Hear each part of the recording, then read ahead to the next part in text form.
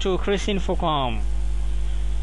Excel handy trick. Today's Excel handy trick is now transpose. Now a lot of users now face this problem.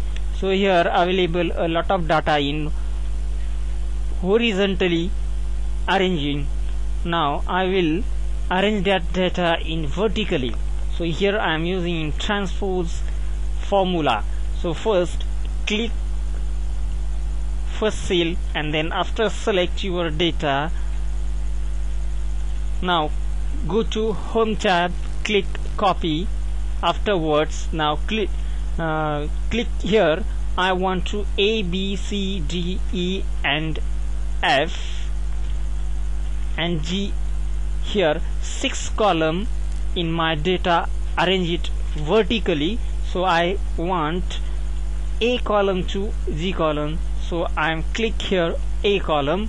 Afterwards now I want to go to home tab clipboard ribbon and here paste.